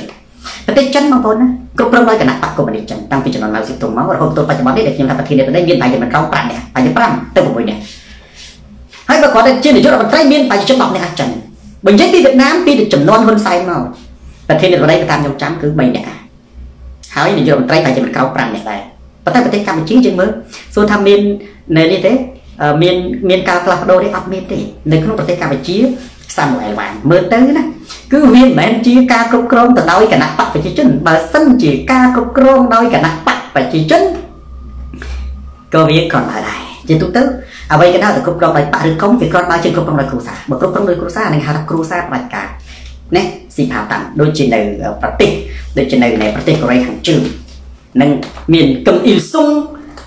ក៏បាទដូចតាមខ្ញុំចាំគឺកឹមអ៊ីលស៊ុងកឹមអ៊ីលស៊ុងមកកឹមចុងអ៊ីលណាកឹម បាទកឹមចុងអ៊ីលសវណ្ណបុរីកឹមចុងអ៊ីលមកបច្ចុប្បន្នកឹមចុងអ៊ុនហើយភាពសាហាវកាន់តែសាហាវទៅចឹងប្រទេសបងប្អូនណាបើកណាគ្រប់គ្រងដោយគ្រួសារគឺពីតាល្មមឯងដល់ឪសាហាវពាក់កណ្ដាលដល់កូនកាន់តែសាហាវចៅកាន់តែសាហាវទៀតរួយពីព្រោះស្រីឡៃស្ទឹងត្រៃបើកណាប្រទេសមួយគ្រប់គ្រងដោយក្រុមគ្រួសារគឺប្រទេសនោះវាកាន់តែសាហាវទៅសាហាវទៅណាអញ្ចឹងបានជាសំទុពេញមិនបានជាជនផ្ដាច់ការខ្លាចបំផុតណានេះ គឺប្រទេសមួយដែលគ្រប់គ្រងដោយក្រុមដែលគ្រប់គ្រងដោយបកអញ្ចឹងឥឡូវខ្ញុំត្រឡប់មកចំណុចបុណ្យ20មកសំខាន់ដែលបែរជាបងប្អូនខ្ញុំនិយាយរឿងប្រវត្តិសាស្ត្រតែមួយនៅក្នុងប្រធានបទទី2នេះជាចំណុចមុនមួយខ្លីហើយយើងឈានចូលដល់របៀបដែលចំកើសំណួរចម្លើយនឹងបញ្ហាផ្សេងៗខ្ញុំនិយាយពីដំណាក់ម៉ាំឈានចៅក្នុងប្រវត្តិសាស្ត្រវាមានសភៅអ្នកដែលសរសេរសភៅល្បីល្បីឬក៏គេច្រើនណាគឺមិនដែលសរសេរស្របជាមួយនឹង អ្នកកាន់អំណាចនៅក្នុងប្រទេសកម្ពុជាសភៅជោគជ័យមានសភៅហ៊ុនសែនផងសភៅកូនហ៊ុនសែនផងសភៅហ៊ុនម៉ាណីផងសភៅហ៊ុនម៉ាណិតផងសភៅហ៊ុនម៉ាណៃផងសភៅចៅហ៊ុនសែនផងតែអង្គុយបញ្ចូលគ្នាចៅចែកសញ្ញាបត្រអង្គុយតែងតាំងអុកញ៉ាក៏រុកក្រាស់ប្រំប៉ុងអញ្ចឹងទៅប៉ុន្តែបងប្អូនបដិលឺអត់ដែលលឺលើបាប់អត់ដែលចាប់អារម្មណ៍ពេលដែលលឺស្ទនតានិយាយមួយម៉ាត់ហ្នឹងភ្ញាក់ដូចផ្ទះកាភ្លៀងងើពីនេះគឺត្រង់ណា នៅក្នុងប្រវត្តិសាស្ត្រណាដែលហៅថាសៀវភៅនិងស្នាដៃគេមិនដែលសរសេរស្របជាមួយអ្នកកាន់អំណាចទេគឺតែងតែរិះគន់និងប្រឆាំងទៅជាមួយអ្នកកាន់អំណាចបានសៀវភៅនឹងមានតម្លៃសៀវភៅនឹងមានតម្លៃណាហើយសៀវភៅនឹងគឺជាសៀវភៅទេពសៀវភៅទឹកម៉ាក់យ៉ាងសៀវភៅទឹកបងប្អូនមានអីជាតាមណាបងប្អូនខ្ញុំសួរពី3សំណួរទៅចុះសំណួរទី1បងប្អូនណាធ្លាប់រៀនអក្សរសិល្ប៍ទេខ្មែរយើងដែលធ្លាប់ចូលរៀនណាត្រឹមតែ បឋមសិក្សាអត់ទេលើកពីបឋមសិក្សាចូលទៅដល់វិទ្យាល័យអ្នកដែលធ្លាប់មានអក្សរសិល្ប៍ណាអក្សរសិល្ប៍គេមាននិយមន័យមួយថាអក្សរសិល្ប៍គឺជាកញ្ចក់ឆ្លុះបញ្ចាំងតថភាពសង្គមហើយបងប្អូនមានដឹងថាសំណួរទី2ណាក្រៅពីសួរថាតើបងប្អូនមានដែររៀនអក្សរសិល្ប៍ខ្មែរទេអក្សរសិល្ប៍មិនខុសពីពិភពលោកប៉ុន្មានទេអក្សរសិល្ប៍ខ្មែរអក្សរសិល្ប៍ពិភពលោកខុសគ្នាប៉ុន្មានទេសំណួរទី2សួរថាបងប្អូនមានដឹងឃើញ នៅក្នុងអក្សរសិល្ប៍រឿងភាគច្រើនអត់យើងអត់ស្គាល់ឈ្មោះអ្នកនិពន្ធទេបងប្អូននឹងចាប់អារម្មណ៍តែហ្នឹងគិតឃើញហេតុអីបានជានៅក្នុងអក្សរសិល្ប៍រឿងភាគច្រើនមិនមែនជាពាក់ព័ន្ធរឿងសាសនាទេអត់និយាយរឿងសាសនានឹងរឿងវាអត់មានណាអត់មានឈ្មោះអ្នកនិពន្ធទេបងប្អូនដោយសារតែបើសិនជាប្រាប់ឈ្មោះគេសម្រាប់ចោលហេតុអីពីដើមណាអ្នកសរសេរសិភៅអ្នកសរសេររឿងអ្នកសរសេរប្រឡោមលោកមិនដែលសរសេរស្រប ជាមួយនឹងអ្នកកាន់អំណាចទេគឺសរសេររិះគន់អ្នកកាន់អំណាចទោះបីជាអ្នកនោះហ៊ានសរសេរឬក៏មិនហ៊ានប្រហែលជា90%អក្សរសិល្ប៍មួយចំនួនអត់ឈ្មោះអ្នកនិពន្ធមិនគេមិនចង់ដាក់ទេគឺគេគ្រាន់តែចង់បញ្ចេញគំនិតតាមរយៈសំណេរឲ្យមនុស្សដឹងថាសង្គមវាអយុត្តិធម៌ប៉ុណ្ណាអានឹងហើយដែលមានតម្លៃសភៅវិទ្យាសាស្ត្រវាដឹងអត់តម្លៃទេគឺសេពីស្ដាច់អត់ទៅអត់មានតម្លៃទេប៉ុន្តែបើរសេរីគុណស្ដាច់ ពីដើមអាសភៅមានតម្លៃហើយមនុស្សគេដេញតាមសម្លាប់មករឿងពិតរឿងមួយទៀតអក្សរសិល្ប៍មាននិពន្ធឧទាហរណ៍រឿងទុំទៀវរឿងទុំទៀវត្បិតតែលួចសរសើរស្ដាច់អំពីប៉ុន្តែនៅក្នុងនឹងបង្ហាញអំពីរបបស្ដាប់មួយនិងសង្គមនោះមិនធំជាងនេះប្រឆាំងរិះគន់ទៅនឹងសង្គមរិះគន់ទៅនឹងប្រពៃណីចាស់សង្កត់សង្កិតការគៀបសង្កត់សេរីភាពស្នេហា មកពុនហេតុតែមិនទុំទៀវល្បីដោយសារតែទុំទៀវណាអត់និយាយស្របជាមួយសង្គមទេទុំទៀវរឿងប្រឆាំងទៅនឹងសង្គមរិះគន់ជាមួយនឹងរបបនោះមិនធំជាងនេះរិះគន់ជាមួយទៅនឹងការបង្ខិតបង្ខំរិះគន់ទៅនឹងការរំលោភបំពានសេចក្តីស្នេហារិះគន់ទៅនឹងការជឿចាប់ជាទូទៅអក្សរសិល្ប៍សំបីតែនៅអង់គ្លេសក្រៃ Shakespeare យើងស្គាល់ឈ្មោះប៉ុន្តែអត្ថបទ Shakespeare គឺសុទ្ធតែជាអត្ថបទរិះគន់សង្គម មិនមែនសម្រាប់តែប្រទេសកម្ពុជាទេមនុស្សលើពិភពលោកបងប្អូនបច្ចុប្បន្នក៏ដូចគ្នាដែរហើយទីបានជាសនរាហ្នឹងប្រជាជនស្រឡាញ់ល្បីល្បាញទូទាំងពិភពលោកប្រទេសអីទូរទស្សន៍សនរាល្បីល្បាញទូទាំងពិភពលោកបងប្អូននេះសាយដោយសារតែសូនតារាស្រាតខោជន់ផ្ដាច់ការផ្លាស់ប្ដូរផ្នត់កំណត់មិនដោយសារតែសូនតារាស្របជាមួយនឹងសែនទេនេះ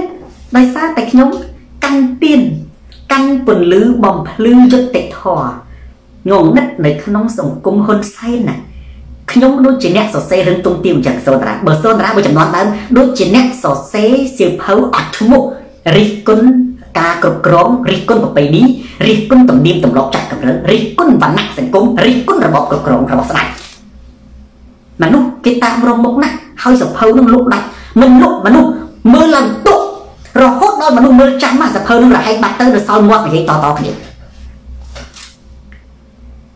ចឹងមានន័យថារាល់សភៅណា ដែលសរសេរដោយជនផ្ដាច់ការអានឹងគេមិនហៅសភៅទេណាអានឹងគេហៅថាអត្តបទបច្ច័យបច្ចើបញ្ចូលគ្នាដើម្បីបានបុណ្យស័ក្តិនិងលៀបសក្ការៈតែប៉ុណ្ណោះអាអ្នកផ្សេងនឹងគ្នាចង់បានបុណ្យស័ក្តិគ្នារស់បើបានតែប៉ុណ្្នឹងមកវាអាចចិញ្ចឹមប្រពន្ធកូនទៅទទួលដែរ បងប្អូនដើមមើលប្រវត្តិសាស្ត្រនៅអាមេរិកក៏ដោយនៅប្រទេសប្រងទីណាក៏ដោយដែលហៅថាសៀវភៅដែលហៅថាស្នាដៃក្រៅតែពីវិទ្យាសាស្ត្របើនិយាយពីសង្គមណាអ្នកសរសេរសៀវភៅល្បីល្បីមិនដែលនិយាយស្របជាមួយនឹងអ្នកកាន់អំណាចបងប្អូនខ្ញុំឃើញមួយគឺតែងតែនិយាយរិះគន់និងអំពើអយុត្តិធម៌ចំណេះណាឧទាហរណ៍ដែលខ្ញុំលើកឡើងមកដូចជារឿងទុំទាវដូចជាអត្ថបទជាដើមអញ្ចឹងចុះក្នុងប្រទេសកម្ពុជាអានេះចូលសភៅជប់ចេញ អានេះមានអីបាទនេះអង្គុយសរសេរ3ថ្ងៃចេញនឹងអត្ថបទសភៅមួយសរសេរសរសេរពីមនុស្សហ្នឹងមកចាំបាច់សរសេរពីហ៊ុនមិនឯងចាំបាច់សរសេរពីហ៊ុនសែនសរសេរពីណាបានសរសេរពីគោខ្ញុំសរសេរបានទេបាទនេះស្ថានភាពគោតាំងពីវាកើតមកតាំងពីវាកើតចេញធ្លាក់ពីពុះមេគោព្រុសមកវាទៅស៊ីស្មៅកើតអាចគោដាក់ស្រែគោនឹងវាទៅជុំគ្នាប្រហែលដងគោនឹងធ្លាប់នេះក្អែកខំសរសេរបានតែក្រៅនេះគ្នានេះអត់ខនតែវាឥតតម្លៃវាទៅជារឿងកលន់ឆែកតាម៉ារីអញ្ចឹងប្រិយមិត្ត share វីដេអូនេះទៅកាន់ប្រិយមិត្តដទៃទៀត សុធាសុធារាពីធូទូរទស្សន៍សូនតាស្រាប់ខោជន់ផ្ដាច់ការផ្លាស់ប្ដូរផ្នត់កំណត់យើងចូលដល់រមីប្រាក់ចុងក្រោយសំណួរចម្លើយនិងបញ្ហាផ្សេងផ្សេងបាទអាណែបាទប៊ុនសុងលោកគ្រូត្រូវតែសរសេរសិភៅឲ្យកូនខ្មែរចំនួនក្រោយបានដឹងផងបាទអរគុណមានពេលវេលានឹងរៀបចំសរសេរខ្លះខ្លះបើខ្ញុំសរសេរខ្ញុំសរសេរពីទស្សនៈ សរសេរពីវិទ្យាសាស្ត្រសរសេរពីជីវិតមិនសរសេរពីសង្គមអីទៅខ្ញុំអត់ចាំបាច់សរសេរពីខ្លួនខ្ញុំទេណាខ្លួនខ្ញុំទុកឲ្យអ្នកដទៃគេសរសេរអាហ្នឹងខ្ញុំអត់អីសម្បើមទេបើខ្ញុំសរសេរនិយាយពីគំនិតនេះនិយាយពីទស្សនៈនិយាយអំពីចក្ខុវិស័យទស្សនៈវិស័យអីមួយដែលមានដែលមនុស្សអានទៅមានប្រយោជន៍ដល់ចំណេះដឹងដែលមនុស្សអានទៅមានប្រយោជន៍ដល់ជីវិតដល់សុភមង្គលនេះដល់ការអភិវឌ្ឍខ្លួនរបស់គេអានឹងបើមិនសិនជាខ្ញុំស្វែងរកខ្ញុំស្វែងរកចឹងវិញខ្ញុំអត់ទៅសេអានឹងទៅនាំឲ្យមនុស្សមកថ្វាយបង្គំខ្ញុំ បានប្រយោជន៍ទាំងនោះអញ្ចឹងបើខ្ញុំបើសូនតារាសរសេរសភៅនឹងសរសេរអំពីរបបកំហើញអីមួយសរសេរអំពីទស្សនៈអីមួយនេះសរសេរអំពីគំនិតអីមួយសរសេរអំពីជ្រុងមួយនៃសង្គមអីមួយពេលមនុស្សអានទៅមនុស្សទទួលផលប្រយោជន៍អំពីអានោះណាទទួលផលប្រយោជន៍ទៅដូចគេថាអានសភៅសភៅចំណិតសភៅផ្លាស់ប្ដូរមនុស្សណាពេលដែលអ្នកបើសិនជាខ្ញុំសរសេរសភៅនោះមកដើម្បីឲ្យខ្ញុំអស់ចាខ្ញុំអត់សរសេរទេបាទព្រោះខ្ញុំអត់មានអស់ចាទេអឺប៉ុន្តែបើសម្រាប់ជនប្រកាសូនតារាមនុស្សទេពផ្នែកទឹក ឥន្ទ្រីកើតក្បែរអាចគោបើប្រៀបជាមួយហ៊ុនម៉ាណែតគីងគុកកើតក្នុងវិវិមីទីចន្ទរាអាមាក៏តបទៅនឹងរតីអ្នកណាក់អើយណាក់បាទគាត់តបទៅនឹងរតីដែរជីវិតត្រូវមានសង្ឃឹមញញឹមសម្រាប់ថ្ងៃស្អែកបាទពុកគូក្បាលកថាវាស្ដាប់ទៅគ្រូមិនយល់ទេ បាទគ្រូក្បាលកថាទុកជាកថាលើកគេសំដែងអាចម្ដងម្កាលទោះជាល្អយ៉ាងណាក៏ដោយធ្វើវិនិច្ឆ័យគោគេច្រកតែលិមុខនឹងអាចអើលិមុខនឹងទឹកនោមតែប៉ុណ្ណោះស៊ីណាត់ជាសុំសួរមួយបងប្អូនជម្រាបសួរបាទ វីវេគីបាទវីវេកាលោកគ្រូគួរសរសេរសភៅពីវិធីសាស្ត្រផ្លាស់ដូរអាហ្នឹងអាចហ្នឹងកំផែងកែវជម្រាបសួរលោកគ្រូបាទសុខសប្បាយធម្មតាអឹមអឺឆៃយ៉ាសិក្សាបាទនឹងអត់មានអីទេអឺហើយក៏ធីចន្ទរារាមាគាត់តបទៅនឹងអ្នកដតីប៊ុនសុងសរសេរទស្សនៈសង្គមបច្ចុប្បន្នសរសេរឲ្យវាកើតមនុស្សអានទៅវាបានមេរៀនណាមនុស្សអានទៅវាថ្មីណា មនុស្សអានទៅវាទៅជាចំណេះដឹងណាមិនមនុស្សអានទៅអានដើម្បីឲ្យស្ងើចសរសើរដូចជាសភៅកុម្មុយនីសសរសេរពីអ៊ំហួយហ្នឹងអានឹងវាអត់ប្រយោជន៍ទេបងណាសរសេរឲ្យកើតទៅជាគាត់ថាវាមានលក្ខណៈសកលទៀតណាមិនមែនតែខ្មែរអានទេបារាំងអានអាមេរិកអានចិនអានជប៉ុនអានទៅក៏វាជាប្រយោជន៍សម្រាប់មនុស្សជាតិដែរមែនទេមិនអានទៅដើម្បីឲ្យគេឃើញខ្លួនឯងអាហ្នឹងគេហៅថាមិនមែនសភៅនេះសរសេរប្រវត្តិរូបទៅគាត់ថា CV ហ្នឹងគេសរសេរ CV ណា CV ទៅ ប្រវត្តិរូបដាក់ការងារធ្វើហ្នឹងមកគេសរសេរពីខ្លួនឯងគេអួតអំពីខ្លួនឯងចឹងទៅណាអញ្ចឹងដូចសភៅហ៊ុនសែនសរសេរពីគាត់សរសេរពីកូនគាត់អាហ្នឹងគេហៅថាសរសេរ CV ទេសរសេរប្រវត្តិរូបណាដែលអួតអំពីខ្លួនឯងអាហ្នឹងគេមិនហៅស្នាដៃទេហៅអត់តម្លៃព្រោះអាហ្នឹងយើងត្រូវដាក់រកការងារធ្វើបានទេត្រូវមែនទេបាទរេកសម្រាប់សួស្ដីលោកពូបាទសួស្ដីដូចគ្នា ចាំងវីនិងម៉ាក់មុំអត់មានអីទេបាទ CV បាទ CV បារាំងថាសេវៃទីចន្ទ្រារាមាសៀង JPU បាទខ្លាចវងរ៉ាត់លោកគ្រូខ្ញុំកំពុងតែសម្លៀងចិត្តបាទល្អណាស់ស្លាប់អីស្លាប់ចុះប៉ុន្តែកុំឲ្យស្លាប់ទឹកចិត្តបាទសុខខេមរាខួនជំរាបសួរឡើងបាបឺលោកគ្រូសូនតារាជីប្រវត្តិសាស្ត្រហើយលោកគ្រូជំកាលស្ដាប់សូនតារាដូចអានសភៅដែរបាទដូចអានមានពេលខ្លះស្ដាប់សូនតារាគឺស្មើនឹងអានសភៅ ស្តូឡូអេវ៉ាយកតែតារានិយាយរាល់ថ្ងៃសរសេរប្រសើរយកមិនអស់មានអ្នកខ្លះគាត់ណែក៏ច្បាច់បានដែរបាទច្បាច់ចុះកំណត់ព្រោះខ្ញុំដូចជាមិនចាំបាច់សរសេរទៀតទេខ្ញុំនិយាយរាល់ថ្ងៃមានពេលខ្លះបើយើងពន្លាតទៅដូចជាច្រើនក្បាលដែរដល់អ្នកដែលចេះចងក្រងសូរិយាអស្ដងគុតបាទអរគុណសន្តិភាពហ្នឹងតែគម្រត់ចោលសន្តិភាពសូមឲ្យលោកគ្រូនៅអ្នករិះគន់រហូតបាទករណាព្រំអ្នកចូលស្ដាប់ហើយមិនយល់ កែមិនរួចបាទចាំបានថាដូចពាក្យស្លោកសូនតារាឥឡូវនេះមានអាប់ដេតមានគេហៅថាបច្ចុប្បន្នភាពថ្មីហើយណាស្ដាប់សូនតារាកើនបញ្ញាណាស្ដាប់ខំទេសនាគ្មានគ្រូពេទ្យណាអាចព្យាបាលបានស្ដាប់ហ៊ុនសែនជំកំសាកពាក់ផ្លាក់អ្នកក្លាហានកើតរោគចិត្តស្ដាប់សូនបាទអានេះគឺមិនដែរស្ដាប់សូនតារាកើនបញ្ញា ស្ដាប់គំវិស្នាគ្មានគ្រូពេទ្យណាអាចព្យាបាលបានស្ដាប់ហ៊ុនសែនជន់កំសាត់ពាក់ផ្លាកអ្នកក្លាហានកើតរោគចិត្តបាទហ្នឹងគឺជាពាក្យស្លោកថ្មីរបស់សូតារាតន្ត្រីភូមិខ្ញុំលោកគ្រូខែ3 2023ហើយអត់ទាន់ទេបាទចឹងអឺសូអក្សរតាមប្រទេសកម្ពុជាអញ្ចឹងទៅឆ្នាំ2022តើ2023រឿងយើងគិតផ្សេងទៀតខួន BMC លោកគ្រូពេលណាកាត់សក់ កាត់ទៅសម្ដេចលេងថាកើតដែរຕົកឲ្យសម្ដេចមើលទៅស្ដេចសិនចុះតែមិនអីទេហ៊ុនឌីណូស្អែកខ្សាយទេលោកគ្រូមិនទៀងទាត់សុនចត្រាបាទពេលណាកម្ពុជាឈប់ប្រើលុយដុល្លារណាលុយដុល្លារប្រទេសណាក៏ប្រើដែរគាត់ថាគេដូរបាទយើងអត់ដឹងថាយុទ្ធសាស្ត្រទីផ្សារនៅក្នុងប្រទេសកម្ពុជាយ៉ាងណាសំណួរនេះមិនអាចសួរខ្ញុំបានទេគឺសួរអ្នកជំនាញបច្ចេកទេសផ្នែកសេដ្ឋកិច្ចនិងហិរញ្ញវត្ថុរេតសម្រាប់បាទកុនខ្មែរតាប្រំប្រៃលោកគ្រូដូរការភ្នាល់ពីស្រាត មកកាត់សក់បានហើយអត់ទេវាច្បាស់ជាងអញ្ចឹងប្រិយមិត្តមើលទៅដូចជាលែងមានសំណួរឯបានណា DK បាទសូនតារាទេអត់ហ៊ានអឺដើរស្រាតដើរស្រុកខ្មែរទេអាស្រុកខ្មែរមានអីខ្លាចដើរមានគណៈបកប្រជាជនគេថាអីនេះមិនក៏ឯងណែមិនហ៊ានចូលស្រុកខ្ញុំថាអេគាត់ចូលស្រុកខ្ញុំគ្មានអីខ្លាចគេថាអីខ្លាចហ៊ុនសែនខ្ញុំតាំងមិនដែរខ្លាចសែនទេជ្រាបបែបបងប្អូននិយាយដល់ទៀតណា មើលមុខសន្តរាច្បាស់ខ្ញុំមិនដែរខ្លាចហ៊ុនសែនទេប៉ុន្តែខ្ញុំខ្លាចអំពើប្រេងផ្សៃរបស់ហ៊ុនសែនព្រោះថាអានោះមិនខ្លាចខ្ញុំខ្លាចអំពើប្រេងផ្សៃរបស់ហ៊ុនសែនទេថាហ៊ុនសែនខ្ញុំមិនដែរខ្លាចខ្ញុំមិនដែរខ្លាចការប្រកួតជាមួយហ៊ុនសែនទេប៉ុន្តែខ្ញុំខ្លាចការហ៊ុនការកាត់សម្លាប់របស់ហ៊ុនសែនមើលរូបខ្ញុំអានេះត្រូវនិយាយច្បាស់ចេះកាត់សម្លាប់គេមិនហ៊ានបងប្អូនបើយើងមិនមែនជាអ្នកកាត់សម្លាប់ផងឧទាហរណ៍អញ្ចឹងមែនទេបងប្អូន គណៈបកប្រឆាំងមិនដែលខ្លាចហ៊ុនសែនទេហ៊ុនសែនទេដែលខ្លាចនិយាយច្បាស់ចេះនិយាយត្រូវបើយើងថាគណៈបកប្រឆាំងខ្លាចហ៊ុនសែនវាត្រូវខំសាមែនទេគណៈបកមកគណៈបកប្រឆាំងខ្លាចហ៊ុនសែនទៅជោគចូលជាមួយហ៊ុនសែនដោយគណៈបកតាព្រំគុំទឹកដូចមុំសំណងដូដូចគណៈបកនេះឯកឧត្តមចោលប្លន់ទៅហើយគណៈបកប្រឆាំងមិនខ្លាចហ៊ុនសែនទេហ៊ុនសែនខ្លាចទើបមិនហ៊ានប្រកួតជាមួយធ្វើឲ្យប្រទេសនឹងទៅជាប្រទេសដាច់ការបើហ៊ុនសែនមិនខ្លាចថ្ងៃនេះនៅក្នុង ទំព័រ Facebook របស់លោកកេសំស៊ីនិយាយថាបើសម្ដេចចិត្តសឿងបើកលំហប្រជាធិបតេយ្យរៀបចំការបោះឆ្នោតត្រឹមត្រូវបើមិនអញ្ចឹងទេហ៊ុនសែនគឺជាជនកំសាកពាក់ផ្លាកនឹងក្លាលេនាយកអញ្ចឹងចាប់ពីថ្ងៃនេះតទៅបងប្អូននិយាយច្បាស់ណាមែនទេបងប្អូនអាចនិយាយតាមហ៊ុនសែនបានតាមបណ្ដាស្រីខ្មែរប៉ុន្តែបើយើងនិយាយតាមហ៊ុនសែនឬនិយាយរកយកត្រូវបើនិយាយតាមហ៊ុនសែនថាសូនតារាខ្លាចហ៊ុនសែនតែគណៈបកប្រឆាំងខ្លាចហ៊ុនសែនសូនតារាមិនដាក់ខ្លាចហ៊ុនសែនទេ សូនេះសូនតារាហៅតែហ៊ុនសែនប្រកួតទេតែហ៊ុនសែនអត់ចង់ប្រកួតហ៊ុនសែនចង់ទៅកាប់ហើយចូលទៅកាប់មិនឈួតទេយើងអត់កាប់ហ៊ុនសែនមានដាវទៅនឹងកំភ្លើងយើងចង់ប្រកួតហ៊ុនសែនចង់បាញ់ហើយបើខ្ញុំលើឈួតហើយយើងយើងប្រាប់ទៅទៅទៅប្រមូលហ៊ុនសែនទៅប្រកួតវិញចាំនិយាយអញ្ចឹងនិយាយបើយើងនិយាយតាមហ៊ុនសែនតែយើងលើកឡើងប៉ុន្តែបើយើងនិយាយយកឲ្យត្រូវយើងទៅនិយាយឲ្យត្រូវបើយើងនិយាយត្រូវគឺហ៊ុនសែនគាត់បកប្រឆាំងជាពិសេសគាត់ខ្លាចខ្លាចសោមនឹងស៊ីមានដំណងបកប្រឆាំងចប់អានេះយើងនិយាយឲ្យត្រូវ ហើយនេះបានជាគណៈបកដតីទៀតមែនទេហ៊ុនសែនទុកប្រសាគណៈបកហ្នឹងវាខ្លាចហ៊ុនសែនផ្សេងជាបានតែចុះហើយបានហ៊ុនសែនមិនទុកគណៈបកសង្គ្រោះជាតិតែសោសែនខ្លាចគេហ៊ុនសែនខ្លាចមិនសែនកំតិចបើហ៊ុនសែនអត់កំតិចយ៉ាងម៉េចបើអាវុធកម្លាំងនៅដៃគាត់អញ្ចឹងបានខ្ញុំជម្រាបប្រាប់បងប្អូនច្បាស់បើនិយាយតាមហ៊ុនសែនឬក៏និយាយយកត្រូវបើនិយាយយកត្រូវគឺហ៊ុនសែនខ្លាចសូនតារាឧទាហរណ៍ចេះចុះសូនតារាមើលខ្ញុំមិនដែលខ្លាចហ៊ុនសែនទេតែខ្ញុំសារភាពត្រង់ចេះពីរឃ្លាទី1ខ្ញុំមិនដែលខ្លាចហ៊ុនសែនទេគឺខ្ញុំខ្លាចភាពព្រៃផ្សៃរបស់ហ៊ុនសែន ព្រោះខ្ញុំមនុស្សអត់ព្រៃផ្សៃទី2ខ្ញុំមិនដែលខ្លាចហ៊ុនសែនប្រកួតជាមួយហ៊ុនសែននេះបុណ្យបបាយធោគឺខ្ញុំខ្លាចហ៊ុនសែនកាប់ពួកយើងប្រមូលតែប្រកួតត្រឹមត្រូវហ៊ុនសែនចង់តែបាញ់គេចង់តែចាប់គេដាក់គុកចង់តែបាញ់គេចង់តែកាប់គេណានុតឆឹងឥឡូវយើងប្រកួតយ៉ាងម៉េចហ៎យើងប្រកួតយ៉ាងម៉េចបើគណៈបកប្រជាជនខ្លាំងដែរខ្លាំង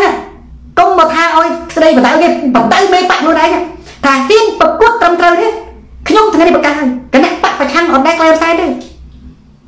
នេះគឺយើងចង់ប្រកួតជាមួយហ៊ុនសែនតែហ៊ុនសែនដែរចង់ប្រកួតជាមួយយើងហ៊ុនសែនចង់តែបាញ់កាប់ហើយនឹងចាប់គេដាក់គុកអាណាទៅប្រកួតក្បាច់នឹងអាហ្នឹងគេប្រកួតបោះឆ្នោតឯងទៅប្រកួតបាញ់បាញ់ចែកទៅភ្លើងគ្នាខ្ញុំធ្លាប់និយាយចែកពុះទឹកដីគ្នាម្នាក់មកកដាលទៅអានោះបានស្មើភាពណាយកតទាត់គោះផែនទីប្រទេសកម្ពុជាពូផេងតកៅ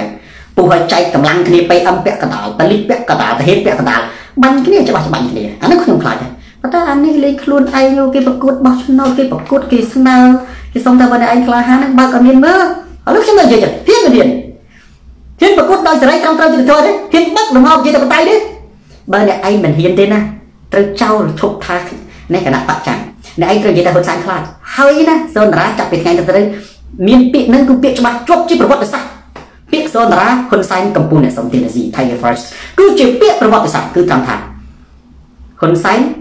ជនកំសាសពាក់ផ្លាកអ្នកក្លាហានកាត់រកចាក់ចឹងប្រិយចំណិតដោយសារតែពេលវេលាមានកំណត់ហើយក៏មើលទៅអត់មានសំណួរចម្លើយអីផ្សេងផ្សេងទៀតដែរខ្ញុំសូមបញ្ចប់ការផ្សាយផ្ទាល់ត្រឹមនេះចប់អរគុណប្រិយមិត្តដែលបានតាមដានទស្សនាការផ្សាយផ្ទាល់នេះតាំងពីដើមរហូតដល់ចប់ share វីដេអូនេះទៅកាន់ប្រិយមិត្តដទៃទៀតមហាខ្វាញ់ទូរទស្សន៍សូនតារាទៅដល់ទីណាការផ្លាស់ប្ដូរផ្នែកកំណត់ទៅដល់ទីនោះ ការផ្លាស់ប្ដូរផ្នែកកំណត់ទៅដល់ទីណាការយល់ដឹងទៅដល់ទីនោះការយល់ដឹងទៅដល់ទីណាហ៊ុនសែនចប់ទៅដល់ទីនោះសរុបរវិតស្ដាប់សូនតារាកើនបញ្ញាស្ដាប់ខឹមវិស្នាគ្មានគ្រូពេទ្យណាអាចព្យាបាលបានស្ដាប់ហ៊ុនសែនជនកំសាពាក់អាចពាក់ផ្លាស់អ្នកក្លាហានទៅគ្រប់ចិត្តទូរទស្សន៍សូនតារាស្រាតខោជនបដិការផ្លាស់ប្ដូរផ្នែកកំណត់យើងជួបគ្នាសាជាថ្មីម្ដងទៀតនៅថ្ងៃក្រោយតាមពេលវេលានិងម៉ោងដដែលសូមអរគុណសូមជម្រាបលារាត្រីសួស្តី